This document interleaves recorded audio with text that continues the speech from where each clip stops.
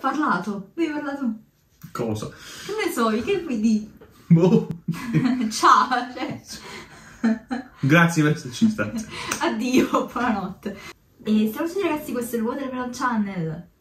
Siamo qui per fare la recensione finalmente di Elden Ring. Dopo averci giocato per parecchie ore, siamo pronti per darvi la nostra opinione, soffermandoci un po' su quella che è la trama, la lore, ma anche magari facendo emergere qualche particolarità che abbiamo notato all'interno del gioco. Quindi sì, partiamo dalla recensione, partiamo subito.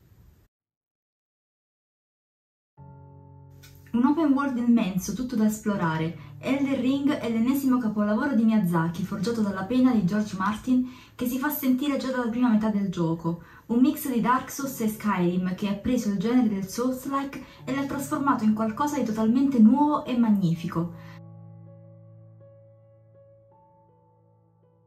Già dal menu di creazione dei personaggi si evince un'attenta cura nei dettagli. Ora infatti, oltre alle numerose classi tra cui poter scegliere, la personalizzazione del personaggio si presenta ancora più minuziosa grazie alla vastissima cura di ogni minimo dettaglio dalla testa ai piedi. Il mago risulta essere per molti aspetti la build vincente se vi piace vincere facile.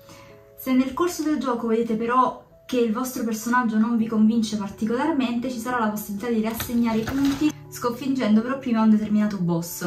A primo acchitto può sembrare un normalissimo Souls-like, ma da subito emerge un particolare, la mappa.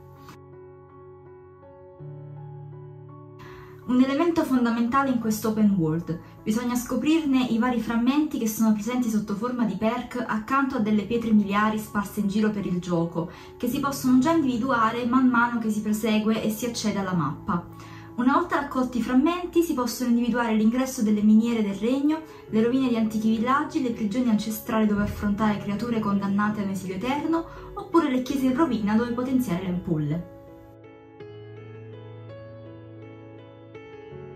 L'esplorazione del vasto interregno è coadiuvata dalla presenza di Torrente, il cavallo, che possiamo chiamare per aiutarci a muoverci più rapidamente da un luogo ad un altro e per letteralmente fuggire dai nemici o per compiere salti che senza di esso non avremmo potuto affrontare, anche perché è dotato di doppio salto. Dall'altopiano di Sepolcride, un posto apparentemente tranquillo, che c'è l'ostilità in ogni dove, terra degli antichi re e dei lord ancestrali al servizio dell'anello, si valicano le acque marcescenti delle terre di Kelid, dove ad aspettarvi ci saranno solo guerre e draghi vittima della disgregazione che ha trasformato le terre in un incubo avvolto dalla morte e sospeso nel tempo. La stessa Liurnia resta ancorata alle macerie di Raia Lucaria, dove l'alta magia dell'Accademia continua a restare viva nei suoi discepoli. Queste sono solo le radici del grande albero che domina lo scenario, che si rivela essere la meta ultima del viaggio per diventare un lord ancestrale. Qualsiasi classe scegliamo, saremo perlomeno agli inizi dei senza luce, esseri rinati dopo la disgregazione e tenuti in vita da una brama di rune. A differenza dei non morti, i senza luce non necessitano di lottare per ottenere le rune maggiori, ma sono obbligati a farlo per sopravvivere in un mondo malvagio. Un regno diviso tra tre sovrani, Godric a Castello Gran Tempesta, Morgoth alle radici dell'albero ancestrale e Mogwin nel mondo sotterraneo casa di potenti demoni e di anime corrotte. Fin da subito viene consigliato di esplorare ogni cunicolo di questa immensa mappa, lì dove si scoprono caverne dei segreti più pericolosi, ai castelli in rovina pieni di storia. Il nostro unico scopo sarà porre fine alla disgregazione, accettandola o affrontandola, e avere il coraggio di sconfiggere coloro che non lasceranno facilmente i loro troni, e per questo ricorreranno a metodi poco ortodossi e al di fuori delle capacità umane diventare lord ancestrale per avere il controllo dell'anello o lasciare che tutto si perda. Per un conscious di un qualsiasi capitolo di Dark Souls non si potrà fare a meno di notare diversi punti in comune. Elden Ring li riprende tutti quanti, realizzando un'opera gigantesca che va ben oltre ciò a cui siamo stati abituati nell'ultima decade. Nonostante George Martin è alla co-scrittura, l'autore del Trono di Spade avrebbe potuto far pensare alla presenza di una narrativa esplicita in sostituzione della famosa lore che ha reso celebre From Software, ma semplicemente non è così. Bisogna ancora lottare per ottenere dettagli e informazioni, leggere ciascuna descrizione, osservare il mondo di gioco e analizzare il contesto. Solo allora si potrà completare il gigantesco mosaico della storia. La vera novità di From Software è che ci ha portato un nuovo open world, realizzando un mondo di gioco che non solo è mastodontico, ma che riesce nel difficilissimo intento di non annoiare, replicando la magia che non importa dove ci si trova sulla gigantesca mappa, basta guardarsi intorno pochi istanti perché qualcosa catturi l'attenzione, il tutto circondato da una persistente bellezza e cura dei dettagli, come l'albero che rimane sempre visibile, come un faro che ci ricorda sempre qual è il nostro scopo, a meno che non si vada nei sotterranei e anche in quel caso riproduzioni illusorie dell'albero ci appariranno per non perdere la via. Lì dove la componente ruolistica risiede, si creano rapporti tra il player e i tantissimi diversi personaggi del reame, le uniche entità in grado di mostrare senza luce la giusta direzione. L'ultimo a morire è la speranza di non essere stati imbrogliati al fine di svolgere piani malvagi o finire preda di un cacciatore di rune, ma di essere effettivamente aiutati a proseguire nella vasta mappa. Personaggi guida saranno sempre al nostro fianco e a volte sacrificandosi pur di salvarci. Resta tuttavia incredibile il modo in cui le questline sono state intersecate con il mondo di gioco. Esistono missioni lunghissime, talvolta dispersive, non essendo presente o meno un riepilogo in missioni, che vanno dai primi momenti di gioco fino ai titoli di coda, alzando il sipario su enormi sezioni di mappa segrete, addirittura su intere regioni completamente opzionali. Per non parlare ovviamente dei finali multipli, che nella piena tradizione del genere sono riservate solamente ai giocatori che più di tutti gli altri hanno cercato e infine svelato i segreti dell'interregno. Parlando appunto dei personaggi, si nota fin da subito che il livello iniziale di gioco non è per niente equilibrato per affrontare le ostilità, almeno per quanto riguarda la storyline principale, ma è un male minore che serve per indurci all'esplorazione che, come già detto per Elden Ring, è la sua chiave di lettura. Troviamo mini boss che ci aiuteranno a livellare, luoghi dove è possibile farmare, neanche troppo difficili da utilizzare, come se From Software avesse compreso il peso di una mappa così vasta e deciso per la prima volta di aiutare esplicitamente il player nella sua crescita del personaggio. Le ceneri, evocabili in determinate situazioni di pericolo tramite una campana, sono un elemento aggiuntivo che contraddistingue ancora di più il nuovo titolo dei precedenti. Un aiuto ulteriore per affrontare le boss fight con maggiore sicurezza quando si combatte. Il salto. È un altro punto di forza di Elden Ring, ancora migliorabile sotto certi aspetti, ma sono dettagli. Il salto rappresenta un modo per aiutarci a muoverci meglio all'interno del vasto regno e l'attacco in salto risulta molto potente. Se siete overlivellati sarà una passeggiata a battere i boss, specialmente se evocate le ceneri. Un punto sfavore va dato proprio a loro, dato che i personaggi si ripetono più volte nel corso della mappa e talvolta presentano bug che li rendono battibili senza muovere un dito.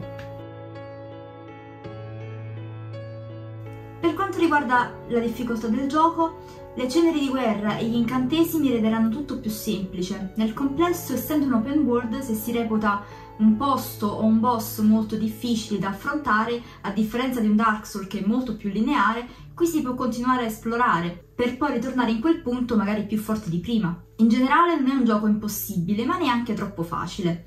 Per essere davvero forti o apparentemente invincibili bisognerà prima potenziare armi e ceneri rispettivamente con pietre da forgiatura o con vallaria, presenti in tutta la mappa o reperibili attraverso i globi cinerei.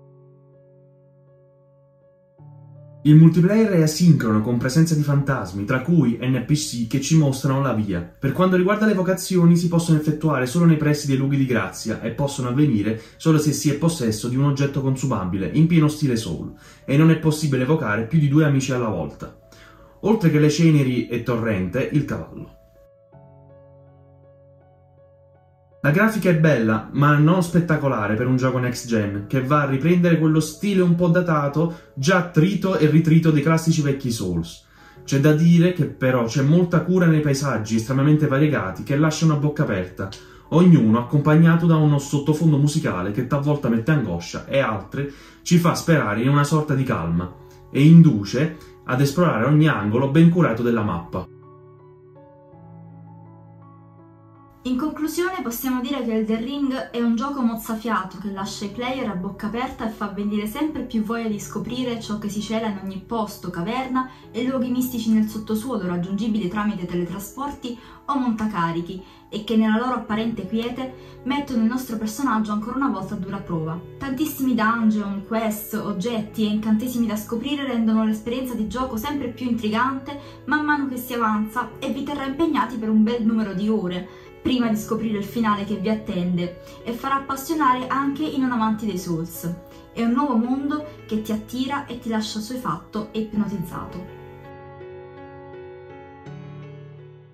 Bene, abbiamo detto che questa è una recensione con voto, quindi diamo un voto a questo gioco dopo questa recensione, speriamo abbastanza approfondita e che insomma vi sia piaciuta. E il nostro voto complessivo a Elden Ring è 9.5 su 10. 9.5 su 10. Quel mezzo voto l'abbiamo dovuto togliere nonostante noi siamo rimasti veramente ipnotizzati e soefatti, come abbiamo detto poco fa, da questo gioco, perché ci sono ancora un po' di cose migliorabili, ci aspettavamo un po' di più dalla grafica, un po' meno bug, forse voluti, forse non voluti, non sappiamo. Un po' qualche particolare ancora da aggiungere, come il fatto che i boss si ripetono molte volte, Mm. eh, cioè ci sono boss fight che a volte sembrano le stesse perché i personaggi sono sempre gli stessi.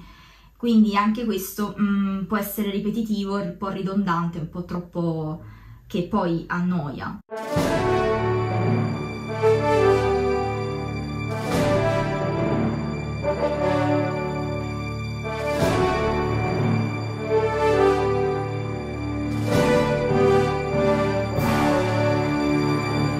Diventa un lord ancestrale. Non mi ricordo.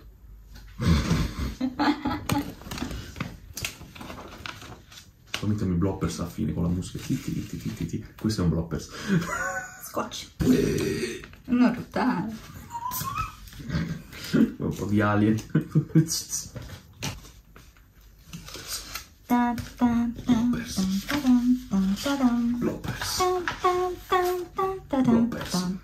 Ma è copyright questa cosa che sto facendo? No. Bloppers.